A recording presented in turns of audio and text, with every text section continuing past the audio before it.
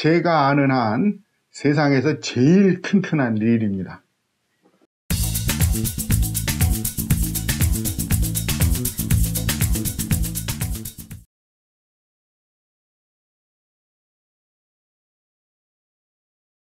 조박사의 피싱 랩입니다. 오늘은 가성비 좋고 힘 좋고 엄청 튼튼한 대형 릴 하나 소개해 드리겠습니다. 이 릴은 제가 아는 한 세상에서 제일 튼튼한 릴입니다. 이 릴의 이름은 핀노의 오프쇼라는 모델의 스피닝 릴입니다. 어, 잠깐 먼저 핀노라는 그 브랜드 소개를 좀 해드릴게요. 미국의 플로리다주 마이애미에 시작됐습니다. 1933년인가 프레드릭 마틴 그리튼이라는 사람이 철공소를 운영하면서 트롤링 릴을 만들기 시작을 했는데요. 당시에 그 플로리다의 가장 최고로 유명한 토미 기포드라는 캡틴, 유어선 선장하고 같이 공동 개발로 대형 트롤링 릴을 만듭니다. 그 릴은 최고의 인기를 끌면서 전 세계의 트롤링 릴의 전설로 군림하게 됩니다. 핀노 릴을 사용한 IGFA 세계 기록 신청 건수가 900건이 넘는다고 그래요. 어, 뿐만 아니라 소설 노인과 바다로 유명한 어네스트 해밍웨이도 이 핀노 릴을 사용했다고 합니다. 아, 핀노 릴은 이 트롤링 릴만 만든 건 아닙니다. 스피닝 릴도 있고 어, 플라이 릴도 있어요. 그 스피닝 릴은 좀 진짜 특이한데 그건 나중에 따로 소개해 드리기로 하겠습니다. 아, 그런데 이제 핀노릴의 문제는 대중화가 되지 못했어요.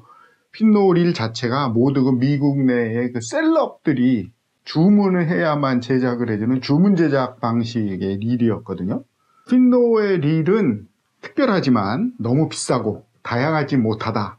그러한 평가를 받았고 그게 결국은 대중화를 시키지 못하는 원인이 됐습니다.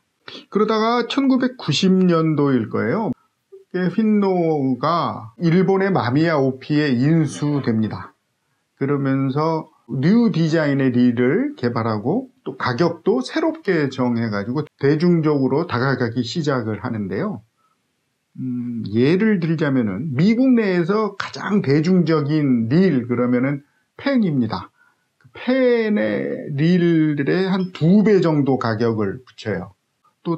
또 일본제 시마노 다이와의 제일 비싼 릴들의 2분의 1 가격 정도로 맞춥니다. 펜 릴의 2배, 일본제 최고급 릴의 2분의 1 가격 정도의 가격을 맞춰서 판매를 시작을 합니다. 그러다가 마미야 오피가 조구 사업을 그만둬 버리잖아요. 그래서 그때 미국 내에 WC 브래들리라는 큰 그 기업이 있는데 그 기업의 자회사로 흡수가 됐다가 요즘은 어, 여러분 잘 아시는 퓨어 피싱의 산하에 들어가 있습니다. 아시다시피 퓨어 피싱 안에 들어가 있으니까 요새는 중저가 제품 이외에는 생산을 하지 않습니다. 이 릴도 중저가 릴입니다. 제가 이 릴을 산 건 2008년도입니다. 그때 벌써 10년도 훨씬 전 얘기입니다만 08년식 스텔라 SW가 막 출시가 되고 너무너무 비싸잖아요. 그래서 이런 너무 비싼 릴을 대체할 만한 릴이 없을까라고 이제 여러 가지 찾아봤었습니다. 그러다가 뭐 이렇게 싸구려 무슨 다이와 릴도 해보고 그러다가 발견을 한 게 이거거든요.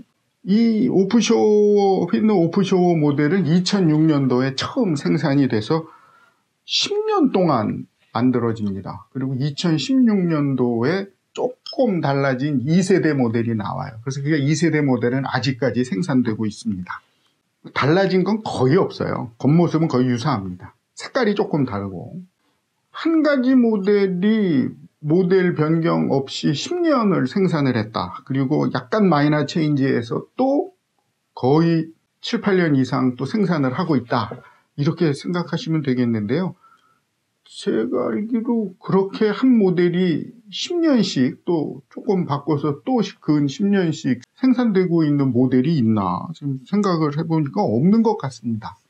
아무튼 그 당시 2008년도에 저가 릴 중에서는 이게 최고의 선택이다 라고 그러고 이 릴을 샀어요.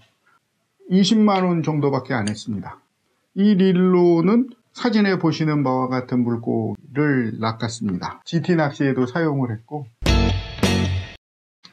이 릴의 장점 음, 드랙이 엄청나게 좋아요. 이 저가 릴에서는 생각할 수 없을 정도로 드랙이 좋습니다.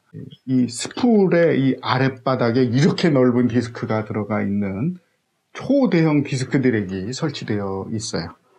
음, 그리고 안에 들어있는 기어 시스템이 엄청나게 튼튼합니다. 드라이브 기어도 피니온 기어도 전부 스테인레스 강철로 만들어져 있어요. 그리고 이 안에 들어있는 볼 베어링은 4개밖에 들어있지는 않습니다. 볼 베어링 사이즈가 전 세계 다른 모든 릴에 들어가 있는 것보다 훨씬 큰 게 들어가 있다고 자랑을 합니다. 또 메인 샤프트가 엄청나게 굵어요. 거의 뭐 새끼손가락 정도 굵기입니다.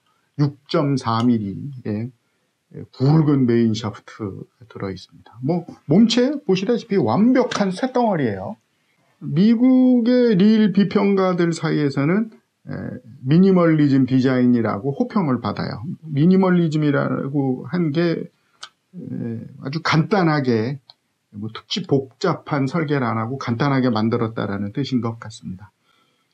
이게 저는 사용 중에 별 단점을 못 느꼈는데 이 1세대에 조금 단점이 있었나 봐요. 그래서 2016년에 나온 2세대부터는 어, 좀 개량된 부분이 있다고 합니다. 그게 이제 겉으로는 보이지 않는데 오실레이션을 어, 해주는 이 구동시키는 안에 조그만 기어가 하나 들어가 있는 모인데 그게 알미늄 소재였다가 brass 황동 소재로 바뀌었다고 그럽니다.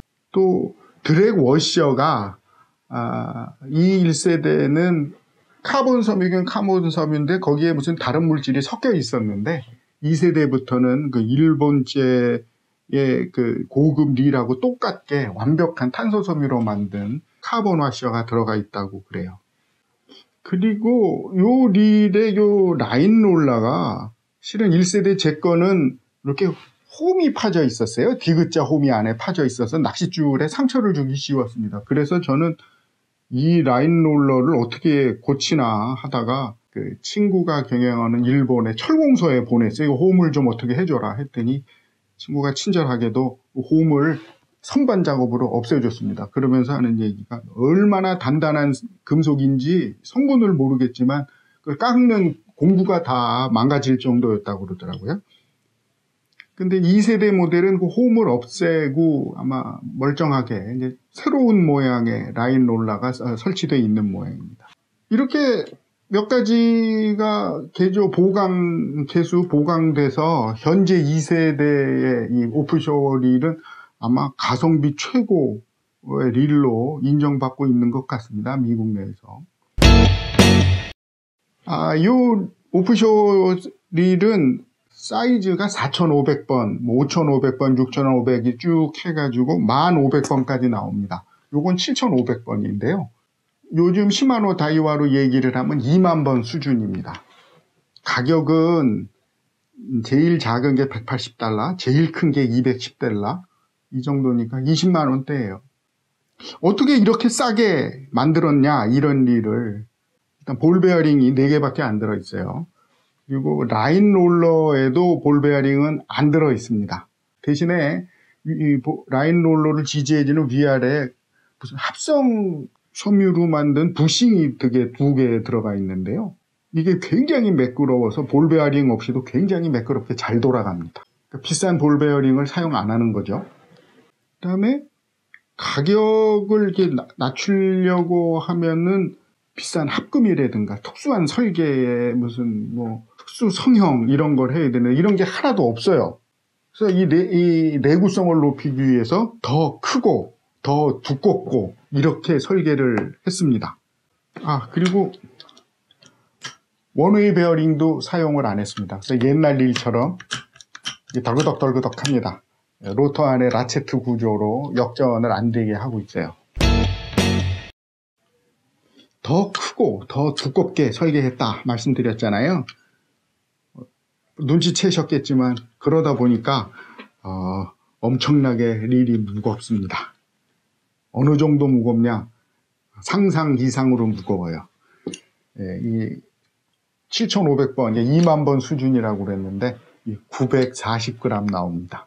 여기에 낚싯줄을 꽉 감으면 근 아마 1kg 육박할 거예요.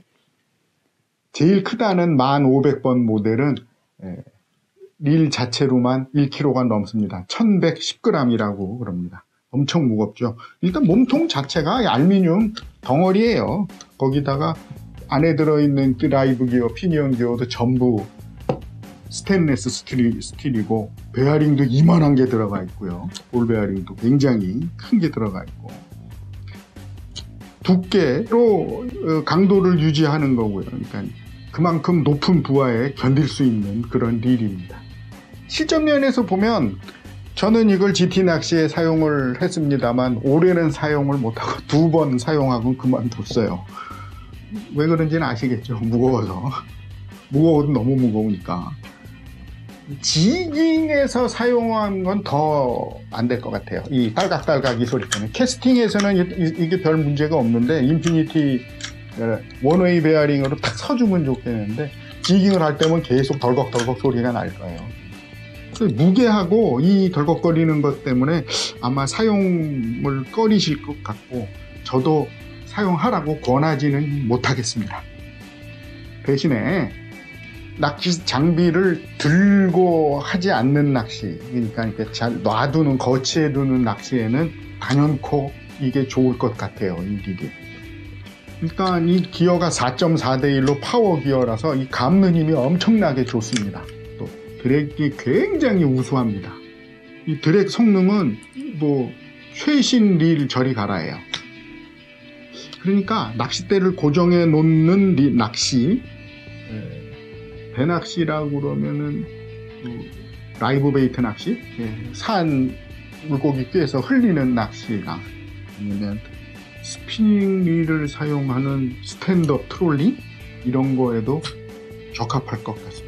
아니 부실이 흘림 낚시 하시는 분들, 찌낚시 흘림 낚시 하시는 분들도 좋지 않을까 생각이 됩니다. 스풀이 커서 권사량이 굉장히 많으니까. 아니면 갯바위에서 던질 낚시, 대물을 던질 낚시로 뭐 부시리를 낚는다거나, 뭐 돌돔 낚시에도 사용하기에 좋지 않을까, 저는 그렇게 생각합니다.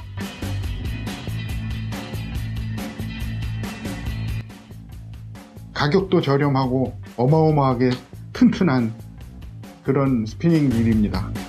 고려해 보시기 바랍니다.